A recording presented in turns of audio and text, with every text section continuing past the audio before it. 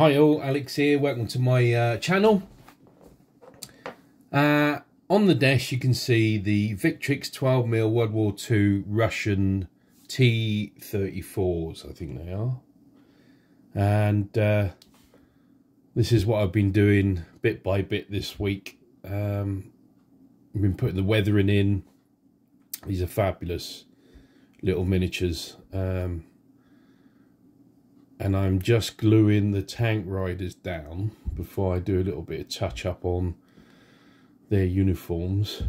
Um, so yeah, that's the uh, that's the T34s. The decals are on now. I've done the weathering, put the rust in.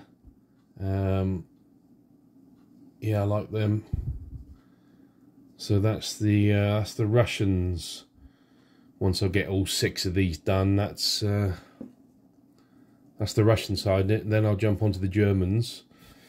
Uh, the Panzer and the... Um, oh, I can't remember what it was. I've got them up there to look at. But I haven't assembled those yet. So, uh, yeah, I like the T-34. It's always been uh, one of my favourites. So, uh, yeah, that's uh, that's what I'm doing at the moment. So I've done three. I've got a couple of bits of touch-ups on their uniforms to go through. I've got three left. Um, and I haven't painted in properly yet. The the commanders, there's three commanders I've got to paint up. And all I've done is uh, do something I normally do is I paint the I paint the figures on the sprue. Um, I just find it because the scale is so small and if you look at them bananas, um, it's not the easiest for me to uh, handle them, you know. But anyway, uh, what I'll do is I'll snip these off, um, place them, glue them onto the tanks, the tank riders on there.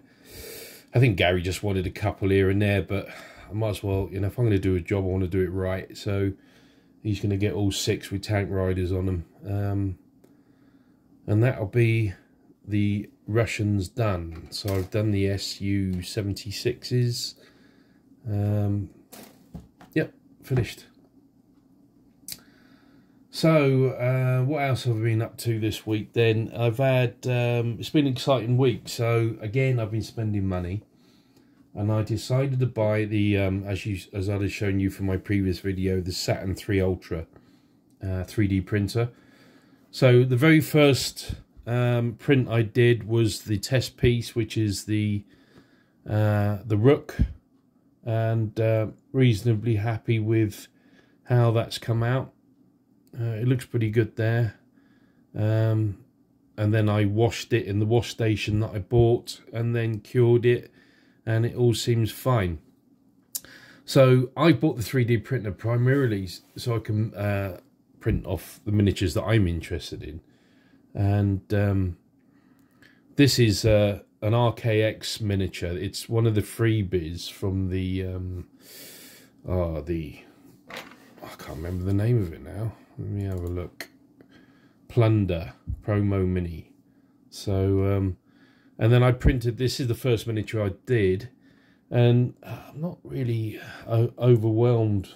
I'm more underwhelmed with the detail on it now it's probably not the STL file, I'm guessing, because RKX is fabulous. Um, it's more than likely my printer settings. It's either the resin or, which I doubt because my mate uses the same resin, um, or I've got my settings wrong. Now, I haven't messed around with the settings because I've got to be honest, when I'm looking at, at um, exposure and print heights and uh, oh, it's it's a black art to me. So it's going to take me a while to get the hang of it. Um, so what I've done is I've just printed off. I've printed off a. Um, um, it's like a, a calibration piece. Um, so I'm, we're going to go down and have a quick look in the garage. So I've I've set the printer up downstairs in the garage because I don't want to. Um, I don't want to smell the fumes or anything, and uh, yeah, so, um, but luckily it's wireless, you know, being the Ultra, it's wireless, so I can simply bring up the uh, software, the splicing software, um, import the STL file into that, uh, and then splice it, and then send it wirelessly through to the printer that's in the garage. So, um, yeah, I mean, I'm not really upset with it because you know when I I showed um, my mate uh, this figure, he said, uh, yeah, just uh, details don't look crisp. So then I thought I'd uh, compare it, um, and it could. It's not that bad. Uh, I think with paint on it, it'll look better. I mean, these are Perry ACWs. Um, it's not that far off, but if I can make the, the details sharper, then that's what I'm trying to do, which is why I'm calibrating it. So uh, now the RKX miniatures come in um, slightly bigger than 28 mil, I think. So I um, I printed this off, uh, I changed the scaling to 95%. And I'm pretty sure, I'm pretty, I'm pretty happy that I've got the scale right. I mean, this is a metal warlord figure, uh, Warlord Games. And uh, if I was to put them next to each other at 95%, I think that's right. So, uh, yeah, that's uh, that's what I'm going to be using from now on. So, uh, what I've also been doing is messing about with a bit of scenery. So I decided to, because if you go on to uh, Thingiverse or RKX, they give you links to free stuff. And uh, I thought I'd do a little bit of scenery. So I've printed off a stone wall with a gate. Um, and that's all come out okay. And, uh, you know, you got corner bits and little bits of wall and 45 degree angles. So, uh, yeah, so that's that's all I've printed off at the moment. I've printed this this test figure off, which uh, you know, if you look at the details on the weapon, um, on that Bren, it's not bad. It's not too bad. Uh, yeah, so I'm gonna just play around with it and see if I can sharpen that up. I think I could make that look fabulous with some paint on it. Uh, and that may be what I'll do just to um, put my mind at rest. I suppose if you looked at the backpack, then it could do with a little bit more depth into the print, you know, if that's what, if that makes sense. Um, yeah. So, uh, that's, uh, that's what I've been up to. So what I'll do, I'll, uh, take the camera down now and we'll, um, have a quick look at the, uh, test print.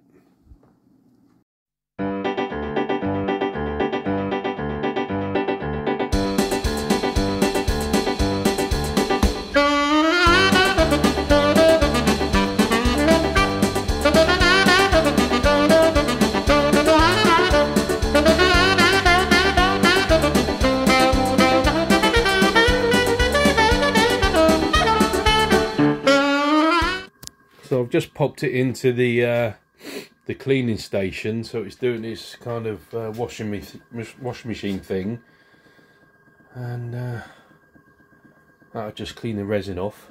We'll have a quick look at it. I'm pretty sure it's a bit rubbish. So that's uh, that's been in there for about seven minutes. So I'm just going to put the glove on because this stuff is uh, toxic or burns your skin. So. Um, always wear the PPE in it but uh, bear with me. I'm trying to do this one-handed so I can film it but uh, so there it is. That's cleaned off. Yeah it looks absolutely rubbish.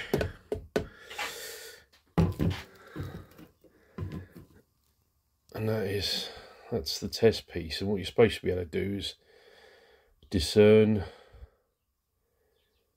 you can alter the settings so you make it crisper and that. So I'd say that my printer settings are the issue or the uh,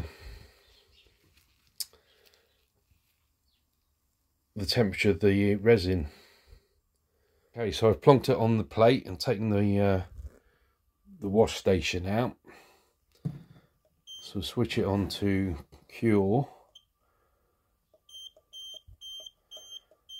Let me give that about four minutes. There's only one little bit in there. And then off it goes. Might have been an idea to stand it up some way, but We'll have a look in a second.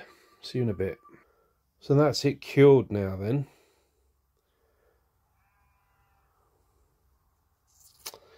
Yeah. It could be, the details could be better, couldn't they? Okay. I need to keep working on it. So there is the uh, the validation piece. Um, I mean, I don't know what's going on here. Doesn't look right to me. And there's a hole here comes through here. So, yeah, don't know. Don't know what to do. Don't know. Now I don't know.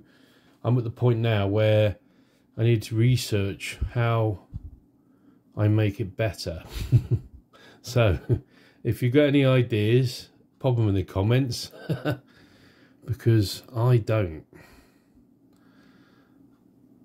Okay, anyway, I'll continue messing around with that until I've got the hang of it. Um, yeah, that's really all I've got for for this week. Um, I've been messing around with, as you can see, the tanks and and the uh, the printer. And uh, once I got the hang of it, I can start um, printing off a load of the RKX STL files, which I'm going to buy from their store because I do rate that stuff. So uh, thanks for watching. I'll catch you on the next one.